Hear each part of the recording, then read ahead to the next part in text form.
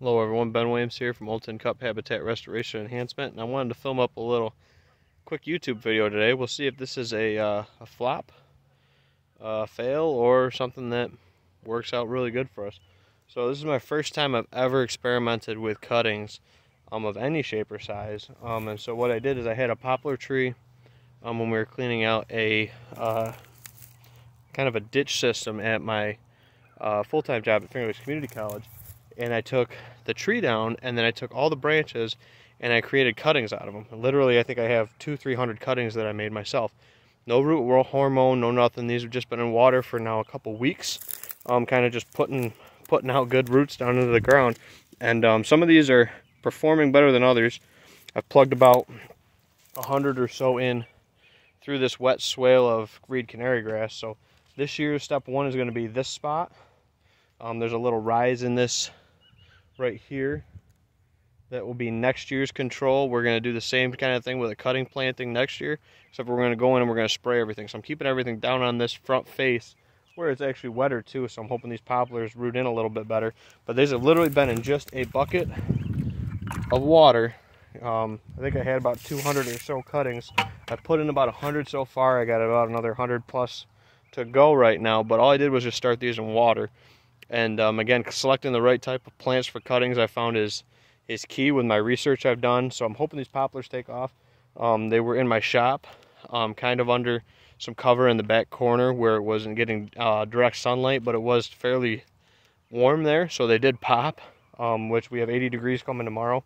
Um, and then some rain. And I have a ton of trees that just came in from um, the tree sale uh, through my local county and um, we got over 300 or so trees we got to put in tomorrow slash maybe today.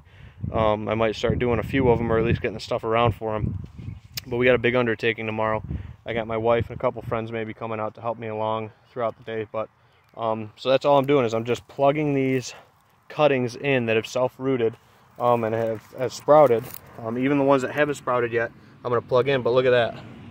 And I'll show you this these these are my cuttings. That all they are was just cut um, cut sections from the branches. And look at the amount of roots they are. Now these probably would survive better if I dug a hole and put them in that way. Um, so I'm not breaking off a lot of these fine roots. They're a lot more rooted than I expected them to be, especially without a rooting hormone um, or anything added with this. But uh, I know I'm going to break some of these fine roots off, and I know some people that probably have done more cuttings than me will probably get after me about this. Um, but I'm looking for quantity over necessarily quality with these ones. These are just plugging in to start uh, resetting this field a little faster. Um, I know I have a reed canary grass problem um, and everything like that. And then once these are growing vigorously, I can come in um, and maybe before the spring green up, when these would still be normally dormant, this canary grass is popping, I could come through and get a spray kill on this early emerging canary before these have bud swelled and popped um, in the future for doing some control or spot spraying around them um, where possible. So these are just scattered plantings in uh, pockets and little sections. You see right here I got a whole bunch of them if you look, kind of the, the lime green leaf that you see out there scattered. Look at them all. I got, you know, 40, 50 of them right here. A couple of the bigger ones that were actually bigger than my thumb. Um, I mean, look at this thing's, you know, almost an inch in diameter. And uh, so we're just plugging these in. We're going to see how this goes. I'll keep you guys posted on it. Um, but I'm going to plug this whole section in. Um, you can see I've kind of done right up to right there. There's a little bit of tinge of it.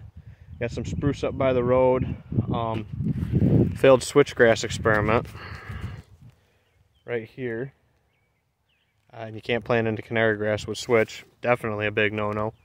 Um, but yeah, I'm learning as I go with some of this stuff. But um, and again, that's just adding more tools to the toolbox, more better uh, information to give to my clients, and that's what I'm doing.